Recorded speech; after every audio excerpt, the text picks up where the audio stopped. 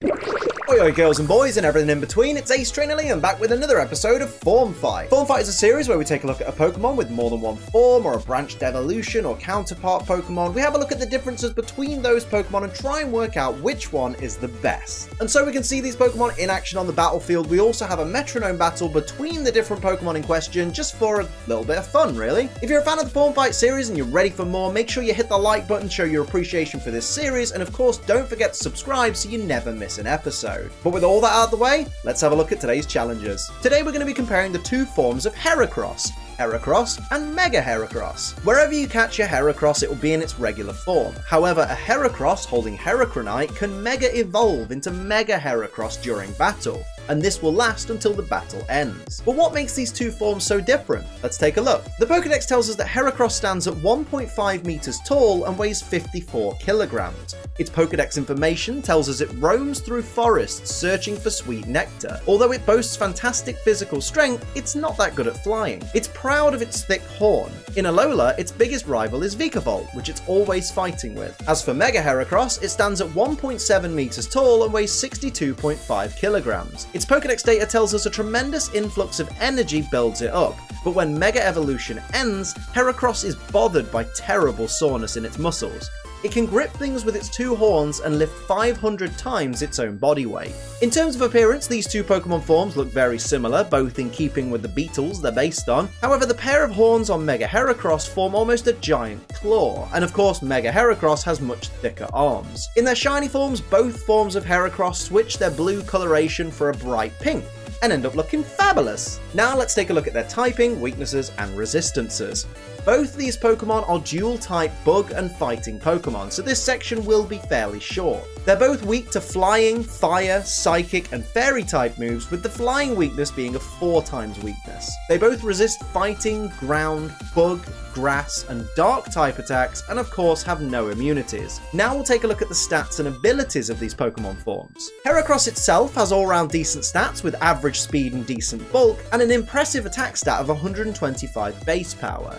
Its special attack is very low, but that's because this Pokemon is designed with physical moves in mind, really. Its primary ability is Swarm, which powers up bug-type moves used by Heracross when its HP falls below one third of maximum. This can be handy for boosting the already impressive Mega Horn, but I always feel like abilities that don't activate until you're in a pinch aren't really abilities you want to build your Pokemon around, it's just not safe. Heracross's secondary ability is Guts, which increases its attack stat by 50% when it has a status condition, and this also prevents a burn from lowering Heracross's attack stat, which is why a lot of people combine it with a Flame Orb. Again, an ability that increases your already decent attack stat is great, but if it means limiting the amount of turns your Pokemon can survive for, it's a risky game to play. Its hidden ability is Moxie, which increases Heracross's attack stat by one stage each time it knocks out a Pokemon. A lot of people see success with this ability by combining it with a Choice Scarf, thus allowing Heracross to move first and KO its opponent easily, then receiving an attack boost so it can dispatch the next opponent even quicker until all opponents are left laying. Being a Mega Evolution, Mega Heracross does get a significant boost to its stats, seeing decent increases to both its defense and special defense, with its attack stat raising to an enormous 185 base power. However, it does lose a tiny bit of speed. Mega Heracross only gets one ability, which is Skill Link, which guarantees multi-hit moves like Pin Missile or Arm Thrust will always achieve the maximum number of hits possible. This effectively turns 25 base power moves like Rock Blast and Pin Missile into a guaranteed 125 base power move since they'll always hit 5 times. While this is a handy ability to have, it does seem a little lackluster given how few moves it actually affects from Heracross's moveset, and it almost feels like Mega Heracross could have probably been given a better ability. Although I do appreciate giving it something like Moxie would have been pretty meta breaking. Now it's time for me to decide which of these two forms of Heracross I prefer, and honestly, I really love the attack power of Mega Heracross, and I, I appreciate that Skill Link is a decent ability. But for me, a regular Heracross with Moxie is far more useful in a battle situation without using your Mega Slot on Mega Heracross. So for me, I'm going to go with regular Heracross. Plus, I, I like its little smile and I like its... It just, there's just something about it that just makes it look like a Pokemon to me. I feel like with a lot of Mega Evolutions, they're a little bit over designed, and Mega Heracross is a perfect example of that. It's where they've gone, we need to make a Mega for Heracross, how can we make it look?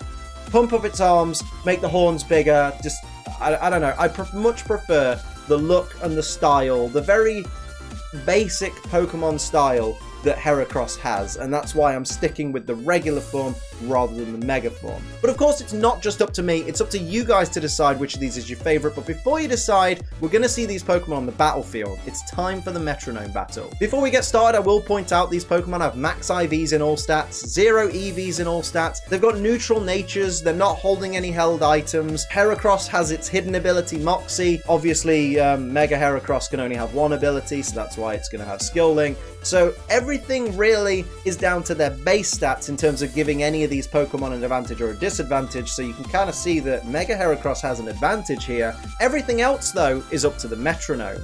Let's go. Bring out the bug spray. It's time for Mega Heracross versus regular Heracross as everybody enters the battlefield here. Remember, the regular team's going to move first because it has that 10 extra base power in speed, but the Mega Team definitely has the advantage in attack, defense, and special defense. Here we see Petal Dance as the first move. That is going to be a multi-turn move as well. But not very effective, so it's a shame that you're locked into that already, regular Heracross. Here we see shiny regular Heracross going with Guard Split. Going to uh, exchange a little bit of defense and special defense there. Take advantage of some of the bulk that the shiny Mega has. Here's regular Mega with a fling, but of course no one's holding any held items, so that's not going to take any effect at all. And here we see turn one ending with an Ice Fang from shiny Mega Heracross onto shiny regular Heracross there, doing a decent amount of damage with that 185 attack stat, well, base power attack stat. We see the rest of that Petal Dance resulting in the confusion from regular, non-shiny Heracross. And here's shiny regular Heracross bringing on Ancient Power. It would be really helpful if it could get the stat boost that comes with Ancient Power sometimes. And there it is! Attack, defense, special attack, special defense, and speed all rising on the shiny regular Heracross. That's going to be very important for the regular team, definitely. Here we see Shiny Mega with a Teeter Dance, going to confuse everybody on the field except itself, although remember, regular Heracross is, is already confused anyway. Confuses its own partner though, that's an interesting tactic there. How's that going to work? Here we see the confusion and... Oh! Hits itself! Normal, uh, normal Mega Heracross hitting itself in confusion there.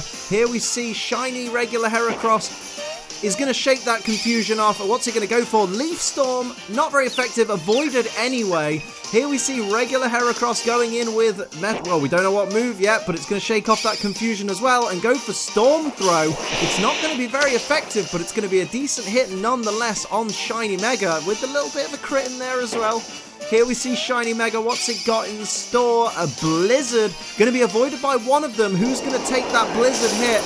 It's gonna be normal Heracross, but of course, let's remember the special attack stat on Heracross is very, very low. As we see regular Mega hit itself once again in confusion, that Teeter Dance has not paid off. Here's shiny regular Heracross shaking the confusion off once again. What's it going for?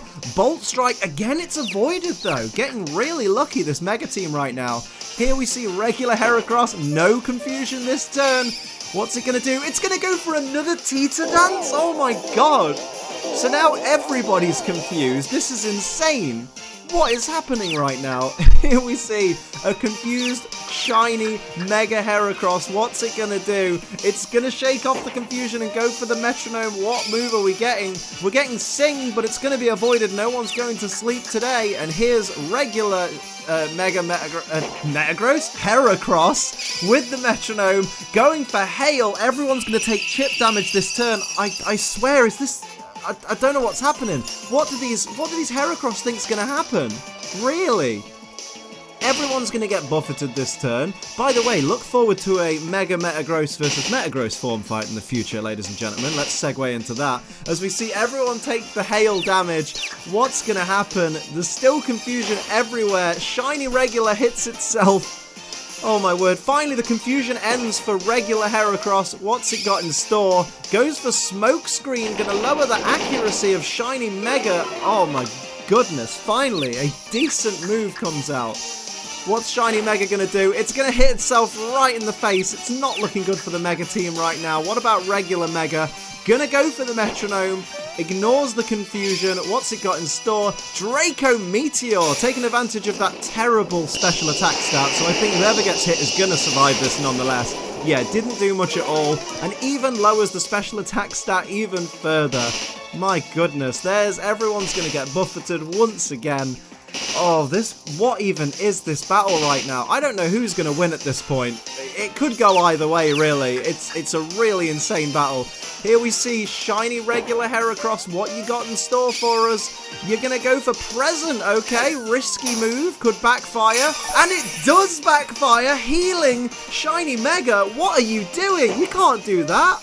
I'm giving this one to Mega at this point. If, if, if the regular team's going to keep making mistakes, like that Captivate that did nothing, Mega snaps out of confusion. Regular Mega, what's it going for? It's going for Freeze Dry. Again, special attacks. Not really going to do much in this battle. It's all about the physicality. Here we see Mega snapping out, of, Shiny Mega snapping out of confusion. Going for Pin Missile. Avoided. That would have been boosted by Skill Link though. However, not very effective anyway, but still.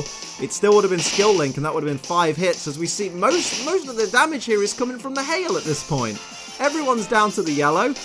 Oh my word, here we see shiny, regular Heracross snapping out confusion, going for the fake tears.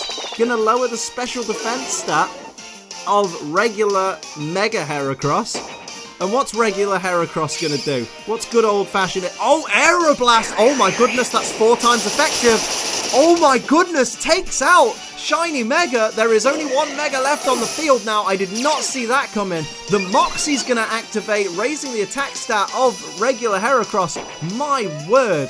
Here comes here comes Mega Heracross with Revelation Dance. Your special attack stat's been lowered two stages and it's already garbage. You need physical attacks, dude, to win this one. We see the hail damage coming out. It, it's looking really bad for the Mega team, isn't it? Oh my, oh my word. What have we got left? Here we see shiny, regular Heracross coming out with a Sacred Sword. It's going to be not very effective, but still a decent stab move there. Does a significant amount of damage. It's looking scary for the Mega Team now. Ice Ball with that plus one attack as well. Is it enough? It is! And the regular team pull out a victory against the Megas. That's insane. You guys have absolutely bossed it.